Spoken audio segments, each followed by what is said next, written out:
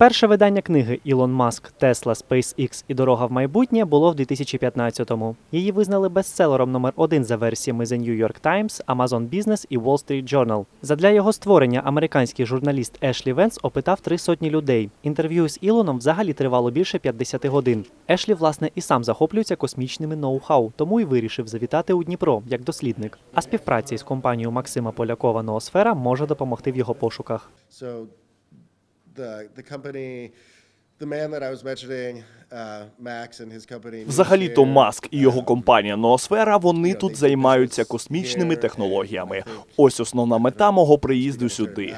Я хочу дізнатися історію української космічної індустрії, поєднати американський та український ракетний досвід. І сподіваюся, це спрацює.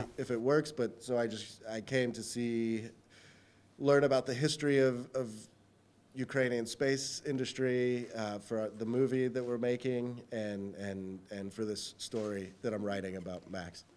Журналісти охоче ставили різні питання письменнику про космос, ідеї маска, його плани та мрії, а також враження самого Ешлі від спілкування з цим інноватором. Однак набагато більше людям кортіло дізнатися факти з особистого життя Ілона Маска, щось таке, що лишилося поза текстами автобіографії. Письменник зазначив, мав намір розповісти всю історію Ілона, показати, яка він людина зі своїми вадами та чеснотами. Але включати в книгу вкрай особисті речі без згоди маска на те він також не хотів.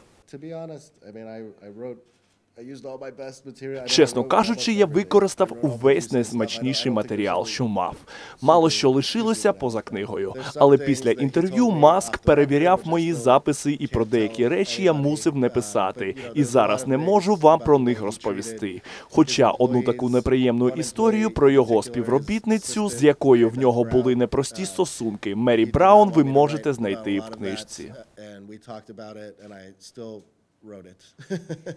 По завершенню прес-конференції на Ешлі Венса чекала чимала кількість шанувальників. прийшли подивитися на напевно, дуже цікавого документаліста Ешлі Венса, от, який, я думаю, сьогодні розкаже нам багато чого цікавого, що не війшло в його книгу у цю автобіографію.